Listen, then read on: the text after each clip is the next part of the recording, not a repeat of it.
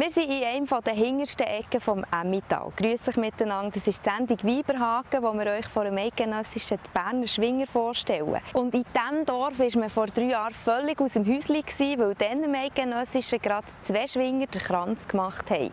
Der Damian Gehrig und der Patrick Schenk. Und zum jüngeren von beiden, zum 25-jährigen Patrick Schenk, gehen wir jetzt vorbeischauen. Während die meisten Berner am Wochenende nicht im Einsatz gestanden sind, hat der Gurdi Norlik beim Basel Landschaftlichen den zweiten Rang gemacht. Einzig gegen die Genossen Patrick Rebmatter und Nick Alpiger geht Rubiger nicht als Sieger vom Ring.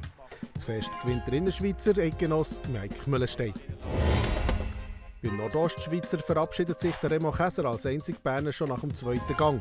Er verletzt sich bei Niederlage gegen Markus Schlepfer. Untersuchungen zeigen, dass es ein Bandscheibenvorfall ist und der Oberaargauer jetzt für sechs Wochen eine Pause muss einlegen muss. Optimistisch geht Remo Käser vor der Teilnahme am Eidgenössischen aus.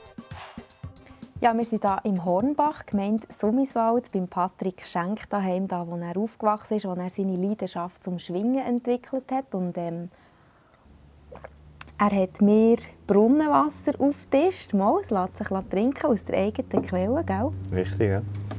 Wunderschönes daheim. Wobei, du wohnst gar nicht mehr hier im Hornbach. Du hast ein eigenes Studio jetzt in Koppigen. Also du bist eigentlich jetzt Pendler geworden, weil schwingen tust ja immer noch für einen Schwingclub Summiswald. Ja, das ist so. Ich, bin, ähm, ich habe in Bio Schule angefangen, also studiere Holzbauingenieur dort. Und aus diesem Grund musste ich eigentlich in der Nähe in Biel wohnen. Ähm, von hier wäre es zu lang gewesen, so viel, so viel weit. Und äh, ja, jetzt bin ich eigentlich, weil ich noch im Emmental trainieren habe ich einen Ort gesucht, wo ich in der Mitte von allem bin. Mhm.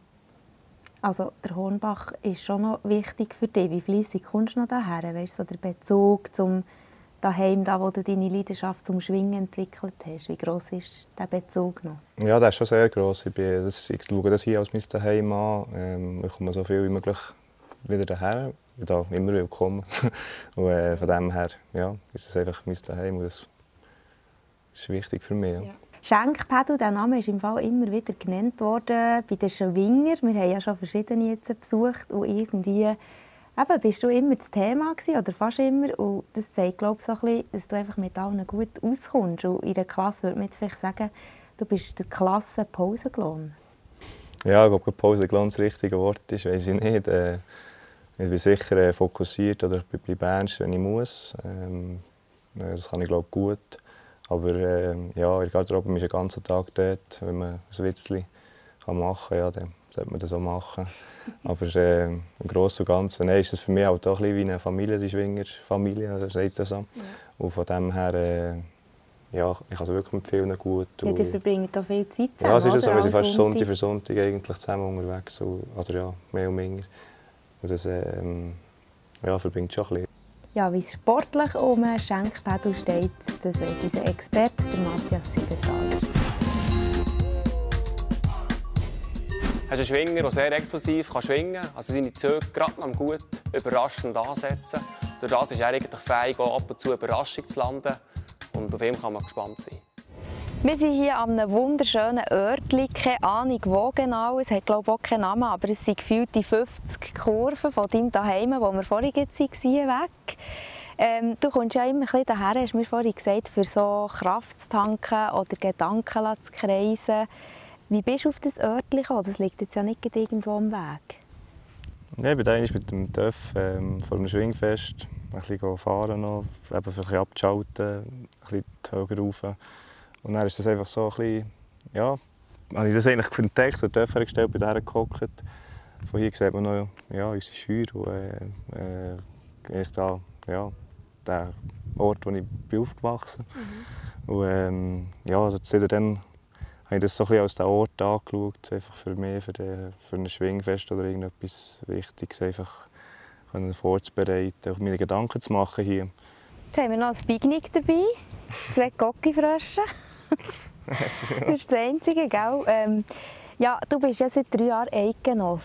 Ähm, mit 22 hast du dann den Kranz gemacht, also sehr jung. Und das war ein mega Erfolg. Gewesen. Und wie ist das jetzt? Ist es eher Fluch oder Segen? Weil als Eidgenoss hast du auch die schweren Gegner, gehörst zu der Spitzenpaarung am Fest. Nein, das ist sicher eher Segen. Also, das ist äh, etwas, was ähm, ja, was sich wahrscheinlich jeder Schwinger träumt, das zu erreichen. Ähm, und ja, das ist etwas Spezielles und das gibt es niemand mehr wiedergeben. Aber äh, es hat sicher auch seine, ähm, wie soll ich sagen, es bringt einfach etwas mit sich. Es ist nicht einfach einfach. Nein, es ist, äh, ja, man hat halt, ähm, Gegner stellen sich anders sein, man wird anders eingeteilt. Das ist einfach, es läuft Druck? schon ein bisschen anders. Es ist ein gewisser Druck gekommen, ja. Mhm. aber äh, mit dem musst du umgehen. Du hast 31 Grenzen gemacht bis jetzt. Das ist ein beachtlicher Erfolg, würde ich sagen. Das könnte auch mehr sein. aber äh, ja, ich bin zufrieden. Fall. Ja, das Ziel musst du ja immer noch haben. Ja, Im Moment ist ja aber Pause. Die Berner Golfverbandssaison ist unterbrochen. Die geht dann Mitte Juli weiter im oberländischen Zinterlaken. Und was eigentlich die Innerschweizer so machen, das sind unsere Kollegen von Tele 1 schauen. Sie haben das Aushängeschild der Innerschweizer, den Joel Wicki, besucht. Am Joel Wicki kommt Menge Berner in Sinn, wenn es darum geht, wer ihm im Kampf um die Krone von Zug könnte gefährlich werden könnte. Sicher einer der stärksten ist natürlich Christian Stucki, Bernhard Kempf, Remo Käser, Kurdi Norlik. Das sind so ein die Namen, die sehr überzeugend geschwungen haben, schon diese Saison, wo das Potenzial haben, sicher noch für mehr. Aber auch wie ein Eschbacher Matthias, ja, so, er ist zwar noch nicht Eigenoss, aber er hat auch schon ein paar Kranzfeste gewonnen und sicher gehört er auch zu den Favoriten. Der 22-jährige Entlebucher gehört selber zu den absoluten Top-Favoriten und in seiner Nachbarschaft wohnt mit dem Matthias Sempach neuerdings ja auch ein König. Ich habe ihn schon ein paar Mal gesehen und ich habe ihn auch schon mal besucht bei ihm daheim auf dem Bauernhof. Und ich kenne ihn natürlich noch vom Macklingen her und ja, ist halt auch ein Schwingerkamerad geworden auch von mir und ja, wir haben es immer gut zusammen und ja, was will man mehr? Wieder einen König im Tal. Die Innerschweizer sind als Team breiter und stärker geworden. Ein erstes Duell gegen die Berner gibt es wie alle Jahre Ende Juli auf dem Brünig. Und da hat der Joel Wicki trotz vier Brünig-Kränze noch eine Rechnung offen. Denn er hat das Fest noch nie gewinnen Ein Schwinger, der Gitarre spielen kann, da komme ich richtig in Festivalstimmung. Der Schenkpedal hat sich das selber beigebracht und hat so lange geübt, bis er blutige Finger hat bekommen, hat er vorhin erzählt. Zum Glück habe ich Blockflatte daheim gelassen. Ich gebe dir jetzt nicht Hang. Ich wünsche dir alles Gute. Merci vielmals, hast du dir Zeit genommen. Und jetzt würde ich sagen, lassen wir einfach noch ein bisschen. Merci vielmals, danke.